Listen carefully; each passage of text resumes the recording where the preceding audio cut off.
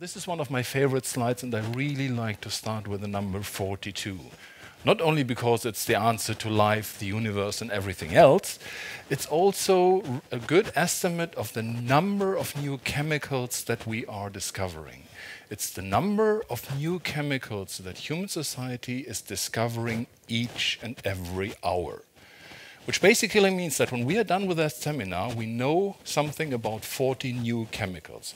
Some of them you will never encounter because they are just for scientific research, but some of them might be the new blockbuster chemicals. So, chemical discovery, chemical use is a hugely dynamic system, and we're all struggling to keep up with that. And just to take a look at where we are standing today, we know about, or we can basically think about an almost infinite number of chemicals. In our catalog, we have around 100 million chemicals that we sort of know something about, that we have been synthesizing. Is that better? Okay.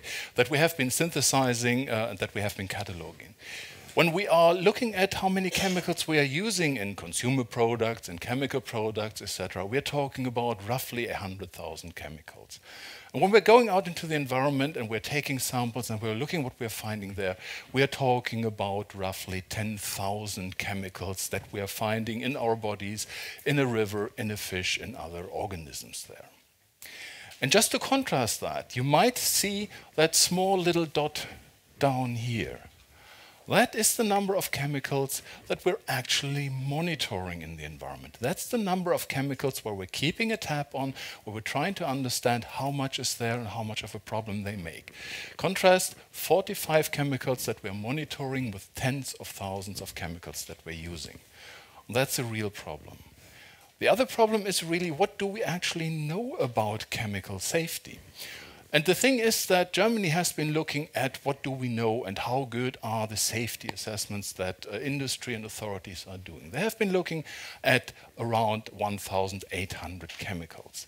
And they concluded that from 1,800 chemicals that have been evaluated for safety, the information is complete and sufficient for one chemical. So one out of 1,800 that have been evaluated, we really have a complete and reliable data set at hand.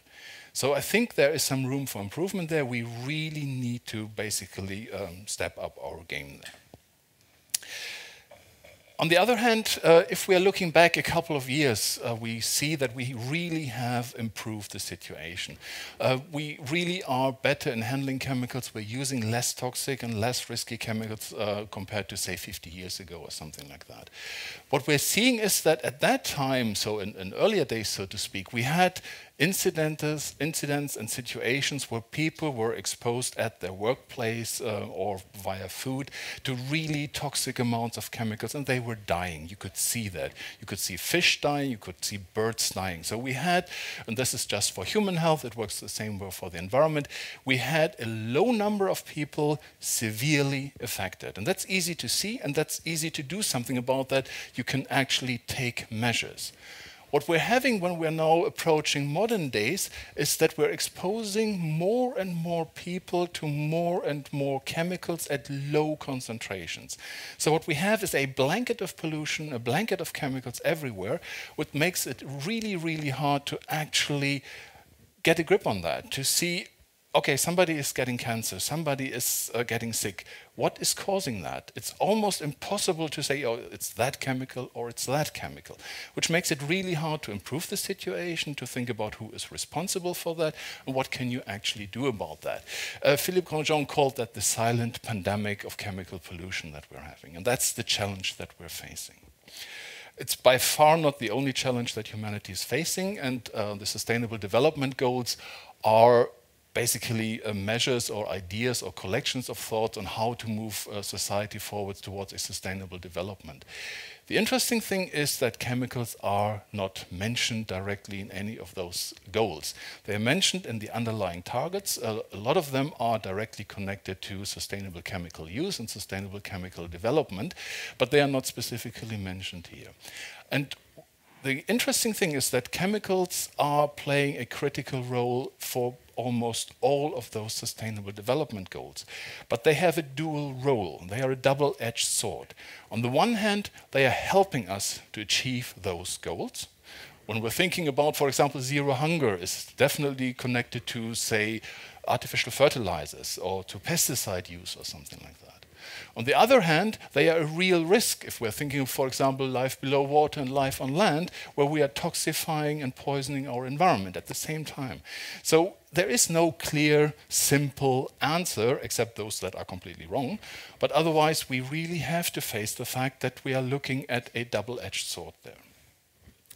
If we're looking at zero hunger, life below water, life on land, uh, it's interesting to also take a quick look at how the situation is in the Swedish environment. This is the evaluation that has been done by the Swedish Chemicals Inspectorate in 2019, that has been published just a couple of months ago, looking at the, the uh, health impact or the potential health impact, the risks for humans and for the environment over the years. And what we're seeing is that we are spraying and using more herbicides or more pesticides in general than before. So we have an increasing trend here over time. At the same time, we have a constant risk to humans and the environment. So for me, the critical question really here is that sort of stagnant level that we have here, are we okay with that? Or do we want to improve things? So that's the discussion that we have to take. What are acceptable levels of risks that we are willing to tolerate? And we need to have an honest debate about that because, again, the pesticides are also having a very beneficial function. So it's the question on how to optimize that. So basically, that means um, I would like to finish that very brief introduction to the seminar with uh, that little coin, the old Roman god of Janus with the two faces, which for me really characterizes the problem and the challenges that we're having with chemicals and their effects on human health and the environment. It's integrated into many of the other 17, I thought. But maybe that's naive and say they won't push things to uh, as far as it, as it could should it be a standalone one. But that was my first spontaneous reaction.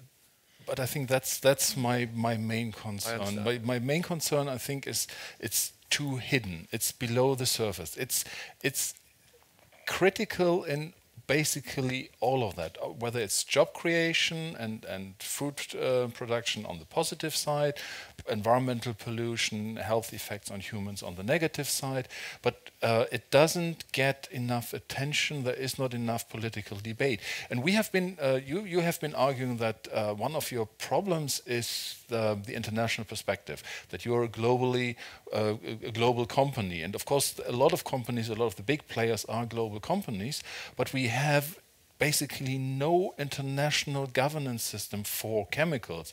We have the Rotterdam Convention or we have the Montreal Protocol and th those things that cover only a very, very minute proportion of what's actually going on in chemical trade and international chemical business.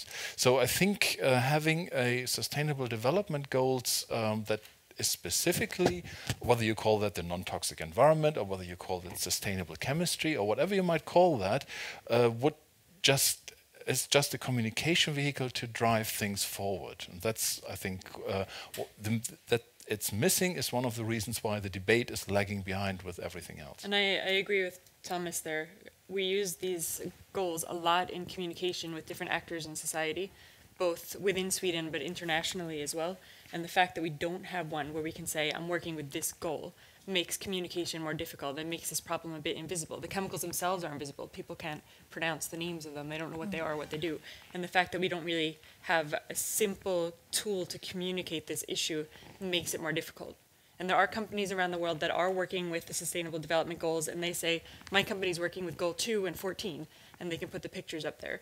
But even if they are working with chemicals, they can't say, well, it's kind of in, in 11 and 12 and, and 16 somewhere in there, and you can't really see it. But so I, th I think it would be a very strong communication tool, and it would really help drive innovation and drive discussions, and maybe even drive global agreements, which are being discussed in a lot of different places and a lot of different levels. But obviously, evidently, we really need this. Maybe. Uh, yes, I do agree, and I also emphasize the sort of pedagogical problem with discussing chemicals in the same way as with climate. I mean, personally, I believe uh, that this you called it something mattress of chemicals or this background level of all kinds Blanket of cocktails. Of Blanket. Yeah. Oh, um, oh it's, come on. No, it's a huge problem. You want to scare people? Say that we're under a blanket of chemicals everywhere. If I take a blood sample, I'm going to find around 150 to uh, 200 chemicals in that blood, and I'm not. I'm definitely not. What's a chemical then? Because you know, a, a, a, chemical. We're not talking about oxygen or water okay. or something like that. We're talking about. Uh, uh, we're talking about synthesized hazardous chemicals, and uh, I think I'm not. I'm not trying to in, in, one way, I'm trying to scare people, but in, in, the sense of making them aware that there is a potential problem. I'm not saying that this is particularly problematic. What I'm saying is that we actually have to take a look. The chemicals are there, and we can't just ignore that they are there. We have to okay. agree which amounts of chemicals, which levels we find acceptable. And that's the challenge to actually do that. Mm -hmm for me, that's the critical thing. I'm not. We will never, uh, in, in our society, have a human being that doesn't contain man-made chemicals in their blood or urine or other tissues, uh, which can be okay, but can also be really problematic. And it's somewhere in between that we are, and we just need to take a closer look and discuss that honestly.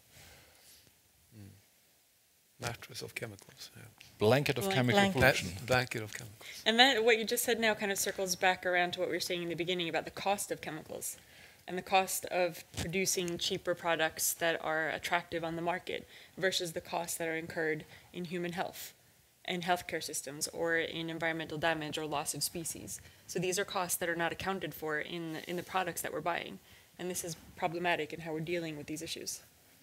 Coming back to the sustainability goals, I think it's actually mentioned in in the in the comments for four or five only of the uh, of the of development goals, and then it goes to the waste, it goes to sustainable industry, chemicals there, and it goes to drinking water. That's mainly things. And life below water also mentions pollutants.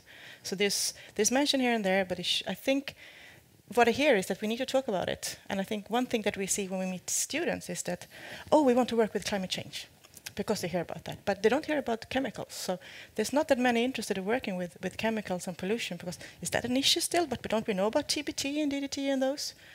So thank you.